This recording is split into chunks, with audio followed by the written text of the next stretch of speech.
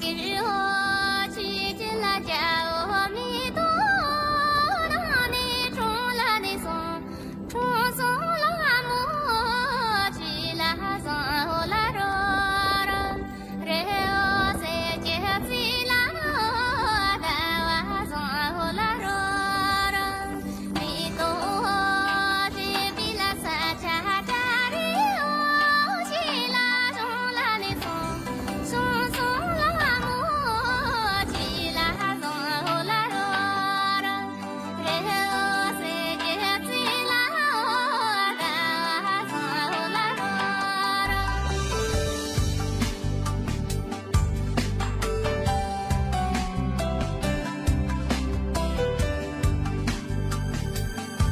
今日我们将进入相传的神秘国度香格里拉。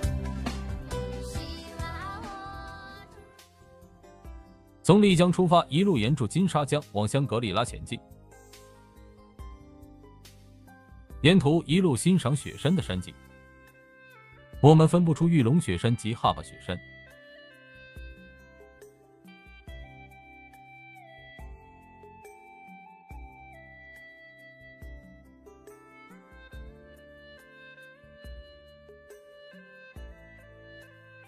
虎跳峡位于丽江与香格里拉的交界，玉龙与中甸间的金沙江干流上，以深浅、奇、绝、秀的旷世景观而出名，也是世界上最深的峡谷之一。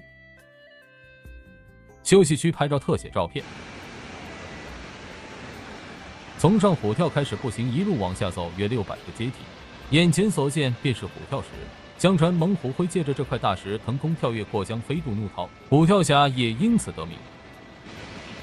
金沙江是中国长江的上游，这里有说明虎跳峡的两岸有雪山对峙，左岸为哈巴雪山，右岸为玉龙雪山。从上往下走，听到流水声，可以感受到江水气势磅礴。据说每年的八月至十月之间为雨季，可以看到金沙江波涛汹涌。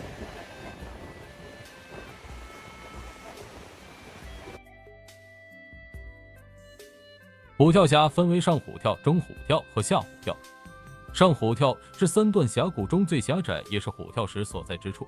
一般观光客讲虎跳峡，指的通常就是上虎跳。看完了虎跳石，拍照留念。站的这岸是哈巴雪山，所看的对岸是玉龙雪山，也是丽江的境内。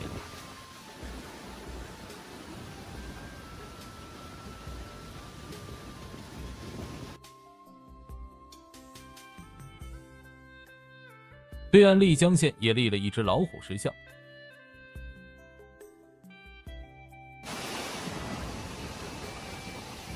步道中有一段有玻璃地板，可以俯瞰金沙江的激流。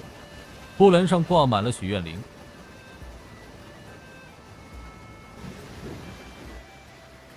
回城再看一眼金沙江的怒涛。来的时候，丽江和香格里拉两地之间的高铁和高速公路工程正在同时进行当中。等到工程完工之后，虎跳峡的景观会完全不一样。沿着两百一十四号国道继续往中甸香格里拉方向北上。这里是藏族的土产店休息时附近的景象。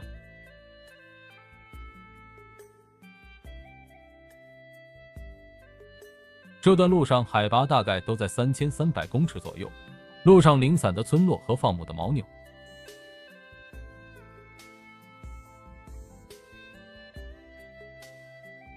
沿途的景色似乎没有一丝丝的污染，所见之处一幕幕都是一幅风景画，令人心旷神怡。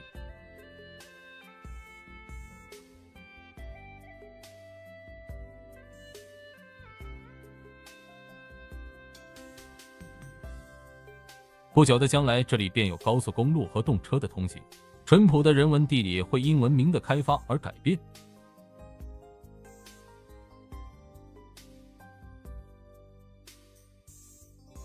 看到机关建筑，就是已经到达香格里拉县城了。二零一九年刚好是中国共产党建国七十周年。香格里拉县城藏式大门楼。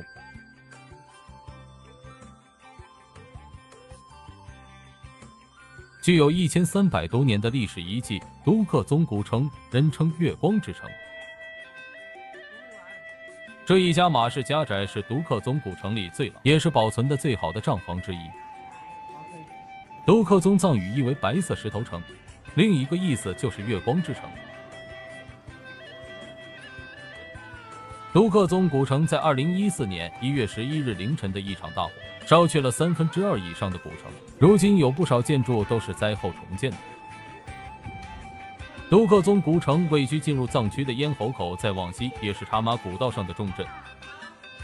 城镇大多有四方街作为商业贸易活动的中心。藏传佛教是这里的信仰，在藏语的意思，香格里拉便是心中的日月。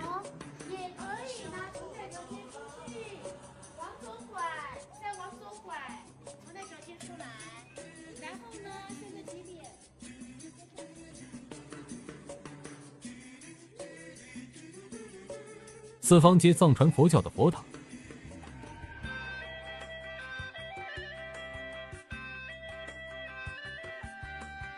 布波是塔，又称喇嘛塔、佛舍利塔，是藏传佛教常见的佛塔。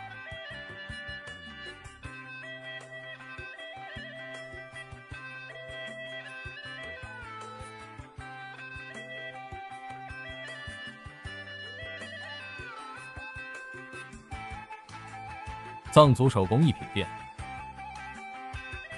这座在被火吻身后重建的月光城，如今说它是古城，也只剩下历史上，而不是古迹文物层面的意义了。独克宗古城有世界最大的转经轮，总重六十吨，纯铜镀金筒，高二十一米，筒壁上层有浮雕、文殊、普贤、观音、地藏四大菩萨，下层为佛家八宝。法罗经轮宝伞、百盖莲花宝瓶、金鱼盘长，桶内藏有经咒六字真言一百二十四万条和多种佛宝十六吨。当地居民或是游客都会来此祈福，以顺时针转动经轮祈求平安，已载入世界吉尼斯纪录世界最大的转经筒。在藏族信仰，每转经筒就相当于祈祷。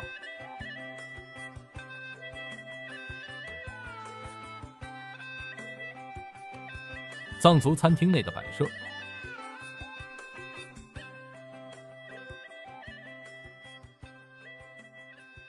窗外的四方街景，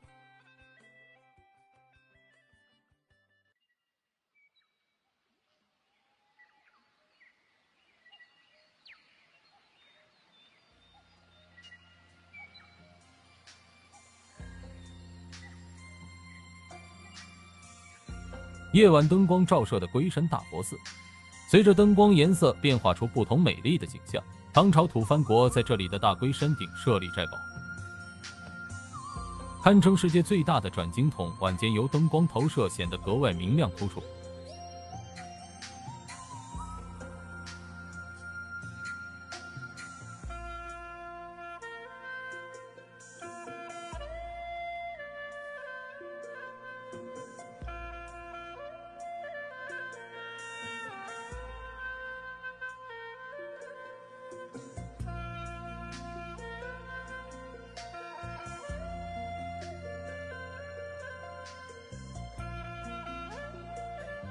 在城区住了一晚，今早要挑战高海拔的石卡雪山。石卡雪山山顶四千五百公尺，担心引起高原反应，买了氧气瓶以防万一。缆车站前是两排金黄色的转经筒，游客可以顺时针的转动转经筒，转动一圈就相当于念诵了一遍大藏经。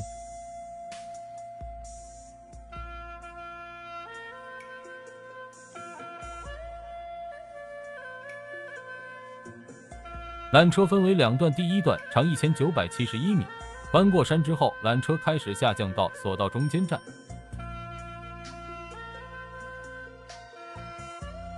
第二段缆车长两千一百八十六米，高度差为六百三十二米，搭乘时间约二十分钟方。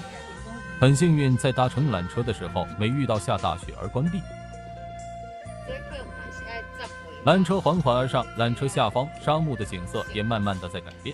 在台湾，我们很难看到窗外正飘着细雪那种景色。由于我们已经在这地区旅游了几天，还好都没有高山症发生。从海拔三千两百七十公尺最低的纳帕海草甸，上升到最高四千四百四十九点五公尺的石卡雪山顶，需要一小时才能到达。八人一台缆车，大伙闲话家常和欣赏窗外的神景。加拿大。台北有台湾有卖吗？有啊，高山上的气候真是千变万化。此时雪停了，也露出一丝丝的阳光。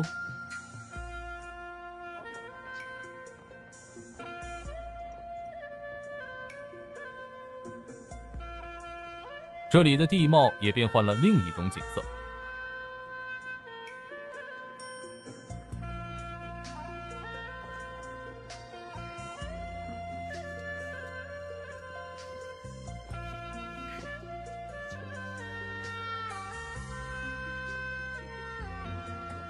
回看石卡雪山下的来时路，终于到达了山顶。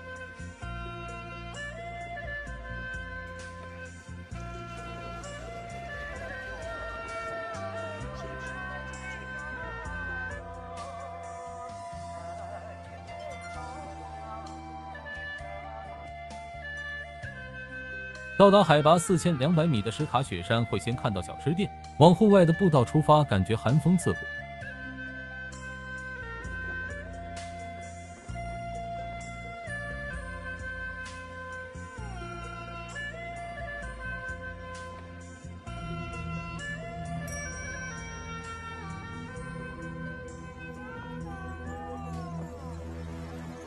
步道旁堆着厚的积雪。眼前这里的温度是零下四度。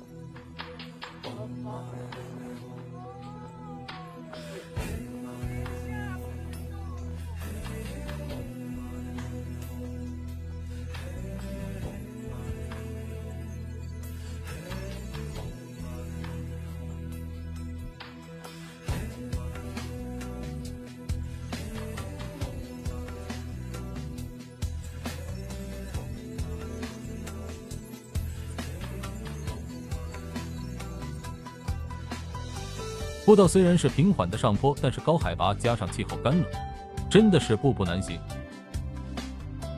据说石卡雪山是世界上唯一可以同时可看到八座雪山的地方。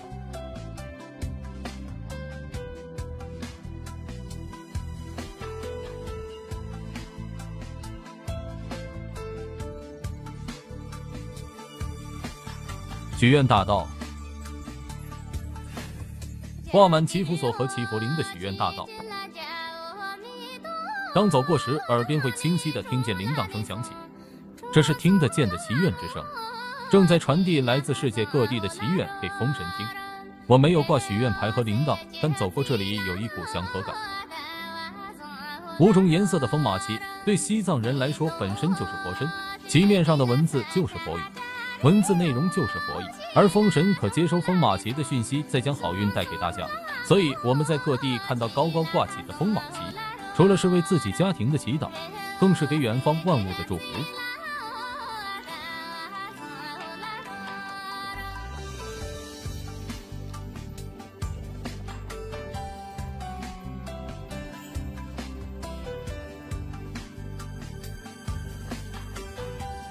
穿过许愿大道，就是石卡雪山蓝月山谷的观景台。连绵不绝的咖啡色山谷上头披白雪，和天际连成一线。晴天时一定让人舍不得眨眼的绝景。今日虽然没有阳光，但这种景色也是平生首见。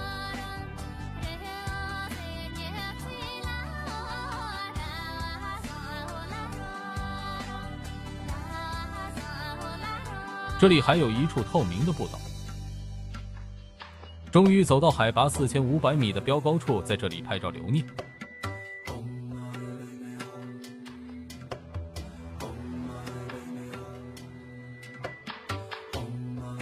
四千五百公尺高山，零下气温，脸部僵硬的体验。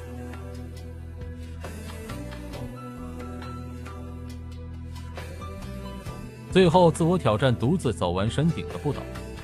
虽然每走一步都会令人喘到几乎窒息。但是这绝美的景色让人舍不得停下脚步欣赏与拍照。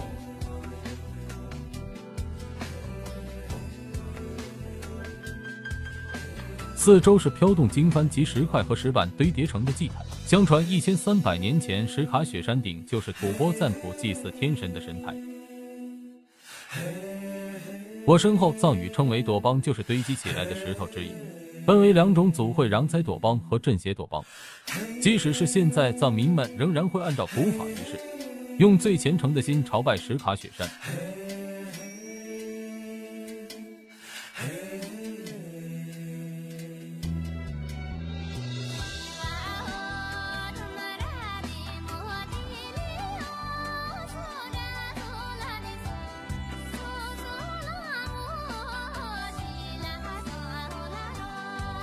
回城顺道走一走，走到中间站旁的亚拉清波牧场。牧场名为亚拉清波，当地藏语的意思是“马路出没之处”，是山下牧民的春夏牧场。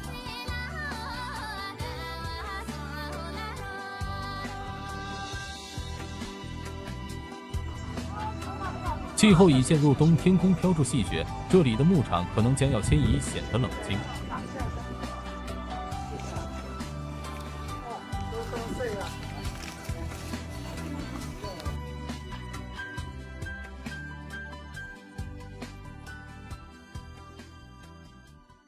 简易木屋里面的火塘正旺，刚好可以取暖，吃当地小点心。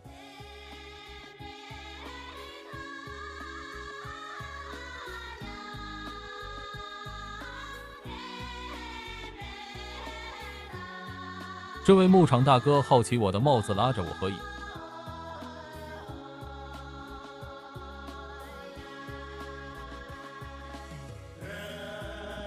再次环视牧场一圈后，我们将离开此地。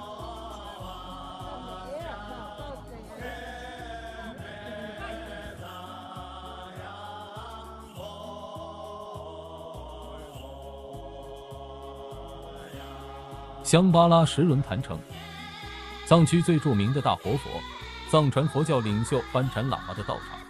石轮坛城景区及现代建筑与藏式建筑风格为一体，是目前藏区介绍藏文化及藏传佛教文化较为全面的场所。里面是不允许拍照的，进去之前要把帽子摘下来，无论是参观佛像还是转经筒，都要顺时针。顶楼有世界上最大的坛城纯黄金打造，镶嵌了很多天珠、蜜蜡。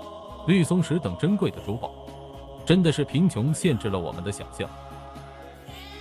嘎丹松赞林寺，云南省规模最大的藏传佛教寺院，被誉为小布达拉宫。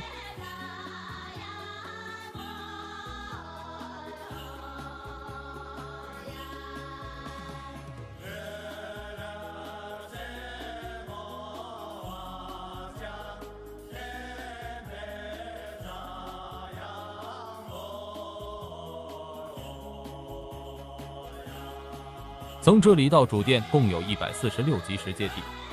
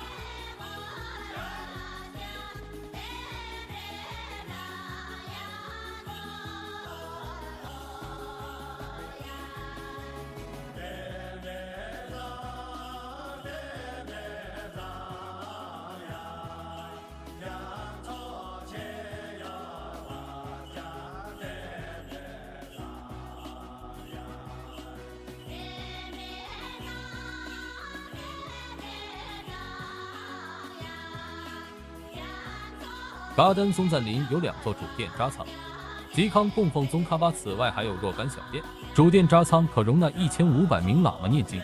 八米高的释迦牟尼鎏金铜像位于绘有佛本生画像的主龛中。基于对宗教的尊重，殿内禁止摄入，因此没有任何图像记录。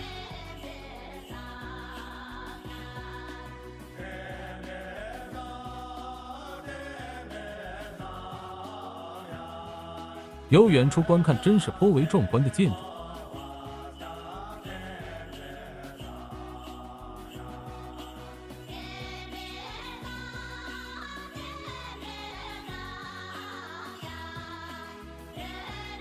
沿珠二幺四公路返回丽江。路上所见，这个城乡呈现的是那么难以形容美的感受。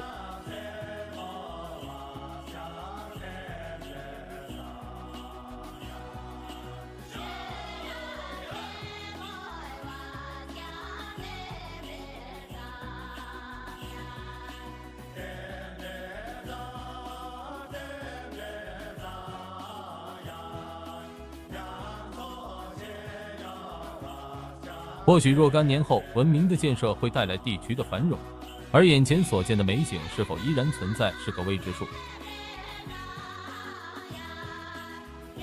活在当下的我们，应尽早享受当下。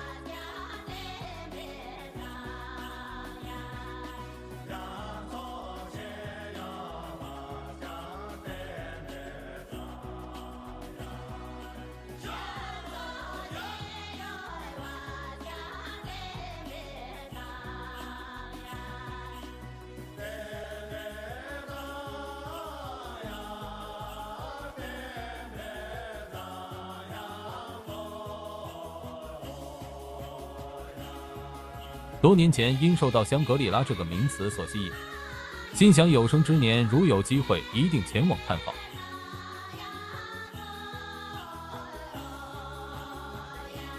这次的香格里拉之旅终于如愿以偿。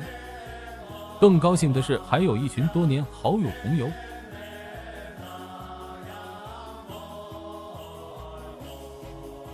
下一回如有机会重游，不知将会有何种的心境。那就随缘吧。